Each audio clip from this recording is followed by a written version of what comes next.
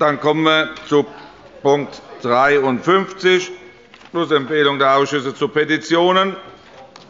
Die Kollegen der LINKEN bitten darum, dass folgende Petitionen getrennt abgestimmt werden. Stimmen wir zunächst ab 1679 aus 19. Wer ist dafür? CDU, BÜNDNIS 90 die GRÜNEN, FDP und SPD dagegen. Keine Enthaltung. DIE LINKE. Damit beschlossen. Schlussempfehlung dann 2139 aus 19. Wer ist dafür? CDU, SPD, BÜNDNIS 90 die GRÜNEN, FDP. Wer ist dagegen? Keine. Wer enthält sich? DIE LINKE. Damit beschlossen. Dann die, üblichen die restlichen Beschlussempfehlungen zu die üblichen und restlichen zu den Petitionen. Wer stimmt zu? CDU ist das ganze Haus einstimmig so beschlossen. Dann kommen wir zu den Punkten Beschlussempfehlung ohne Aussprache. Tagesordnungspunkt 47, Schlussempfehlung Bericht des Innenausschusses, Antrag der Fraktion der SPD betreffend Landesaktionsprogramm gegen Salafismus usw. So Berichterstatter ist der Kollege Franz, der dankenswerterweise verzichtet. Wer stimmt zu? CDU, BÜNDNIS 90 die GRÜNEN. Wer ist dagegen? SPD und LINKE. Wer enthält sich? FDP. Damit beschlossen. 48. Schlussempfehlung Bericht des Innenausschusses, Antrag der Fraktion der FDP, Islamische Radikalisierung usw. Wer stimmt zu? CDU, BÜNDNIS 90 die GRÜNEN. Wer ist dagegen? FDP. Wer enthält sich? SPD und LINKE. Damit beschlossen. 49 Schlussempfehlung des Innenausschusses, Dringlicher Entschließungsantrag Fraktion CDU, BÜNDNIS 90 die GRÜNEN, extremistischen Salafismus usw. Wer stimmt zu? CDU, BÜNDNIS 90 die GRÜNEN. Wer ist dagegen? SPD. Wer enthält sich?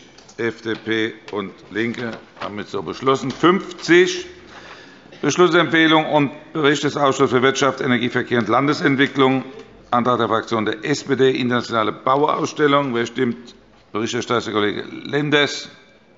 Der verzichtet auch, der ist gar nicht da. Äh, wer stimmt äh, zu? CDU, GRÜNE, BÜNDNIS 90 die GRÜNEN. Wer ist dagegen? SPD, FDP. Enthält sich? LINKE. Damit so beschlossen. Und 51.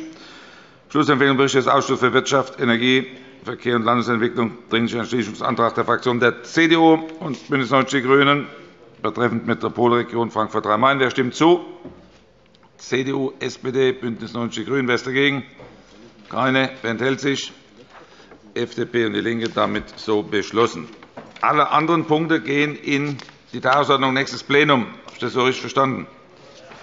Gut, dann ist das so beschlossen. Dann darf ich Sie abschließend zur Plenarsitzung noch darauf hinweisen, dass die Trauerfeier für unseren Freund Günter Schork am Donnerstag, 17. März um 14.30 Uhr in der Trauerhalle Walldorf, Kelsterbacher Straße 84 bis 88 stattfindet. Sie erhalten natürlich alle noch ein entsprechendes Schreiben mit entsprechenden Informationen. Ich darf mich bei Ihnen ja, bitte, Frau Kollegin Dorn. Herr Präsident, äh, wir hatten vorher noch gebeten, dass der Punkt 44 abschließend in WKA kommt. Bei mir nicht, aber da gucken wir mal. Warte mal. 44 Antrag der Fraktion CDU BÜNDNIS 90 die GRÜNEN Exzellenzinitiative weiterentwickeln. Abschließen in den WKA. Probleme? Keine. Ist so beschlossen. Dann darf ich mich bei Ihnen allen ganz herzlich bedanken. Ich wünsche Ihnen einen geruhsamen Abend. Die Sitzung ist geschlossen.